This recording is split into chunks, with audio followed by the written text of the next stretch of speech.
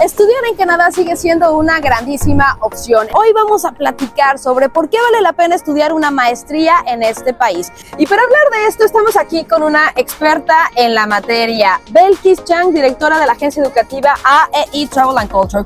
Queremos que nos platiques también sobre la oportunidad de estudiar una maestría y qué ventajas podría traer para venir a Canadá. Los estudiantes pueden venir con sus familias.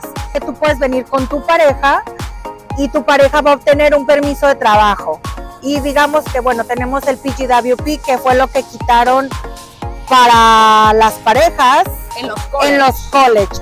Y pueden tener así la oportunidad de seguir con su plan de, de emigrar a Canadá, ¿no? No necesitan una attestation letter.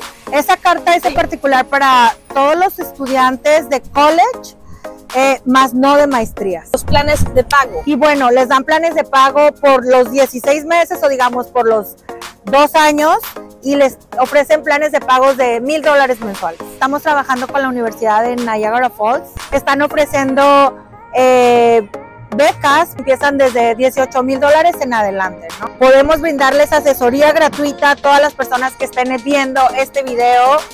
Con mucho gusto los puedo ayudar. Expónganme sus casos y bueno, estoy para atenderlos.